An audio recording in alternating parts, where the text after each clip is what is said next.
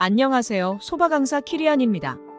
오늘은 선생님의 멘토링 전문가, 멘토 선택법에 대한 이야기입니다.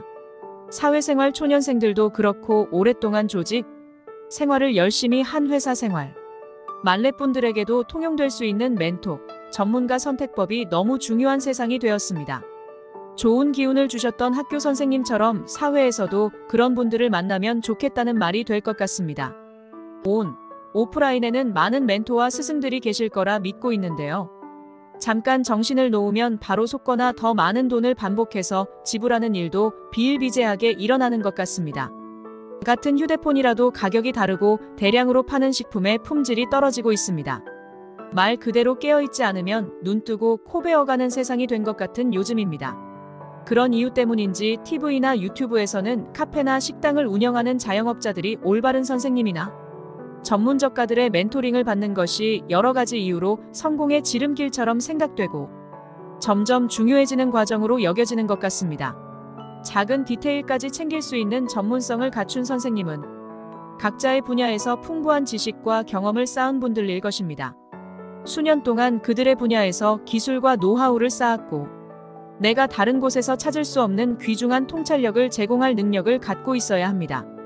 이러한 전문성은 내가 직면한 문제를 빠르고 정확하게 해결할 수 있게 해주며 이는 배우는 사람의 시간이나 돈을 절약해 줄 수 있을 것입니다. 분야 최고의 선생님은 어떻게 해야 효율적으로 일할지 알고 있을 것입니다.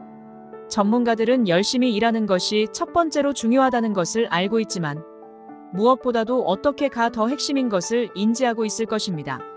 TV를 통해 보는 멘토링은 감탄을 자아내기에 충분해 보입니다. 카페나 식당의 현재 문제점과 미래의 숙제까지 내주고 방향을 정해주기도 합니다. 하지만 현실은 어떨까요? 누가 나에게 그런 자비를 베풀어 줄지 알 수 없습니다.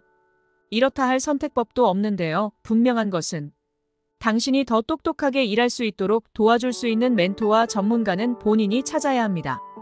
의무 교육을 받을 때처럼 기다렸다는 듯 담임 선생님이 짠하고 생기는 것은 아니기 때문에 초보가 할 수 있는 흔한 실수를 피할 수 있도록 멘토링 해주고 단단하게 성장하도록 이끌어줄 수 있는지 스스로 판단해 보면 좋겠습니다.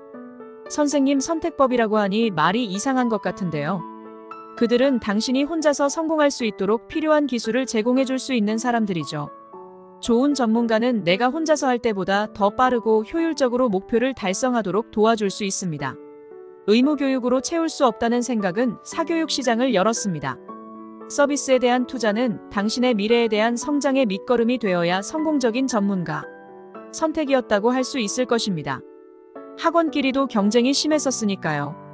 선생님이나 전문가의 멘토링을 받으려 할 때 그들의 경험과 효율성에 문제가 없는지 체크하는 것도 중요한데요. 이것은 시간과 비용의 차이를 만들어낼 수 있습니다. 오늘은 여기까지입니다. 소바 강사 키리안이었습니다. 감사합니다.